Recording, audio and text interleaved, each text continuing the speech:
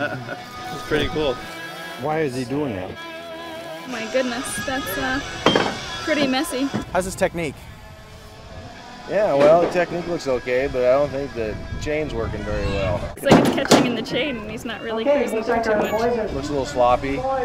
That's the U.S. Yeah. Federal Tax Code. I'd like to chainsaw that. Well, you gotta just cut straight, straight down. He's cutting it and throwing it all over everywhere.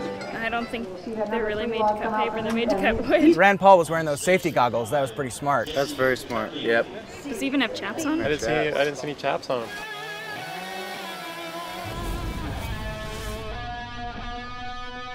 Think it's pretty damn cool. Then he put it in that wood chipper.